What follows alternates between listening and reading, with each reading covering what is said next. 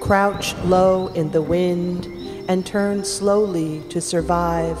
as you finger earth to plant and search for seeds in rich mud with hands like branches, shaking off the rain and spreading wide.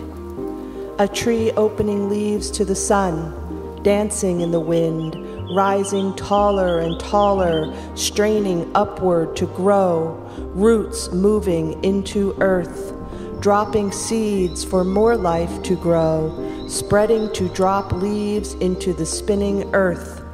planet home. Kneeling to bless earth and sky, turning toward the sun, facing east, then west, north, then south,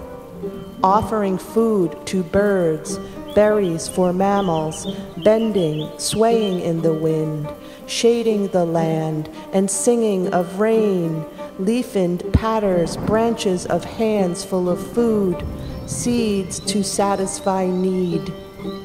fluttering, bending, praying, giving hope,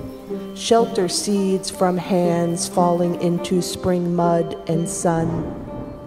Your hands scattering seeds,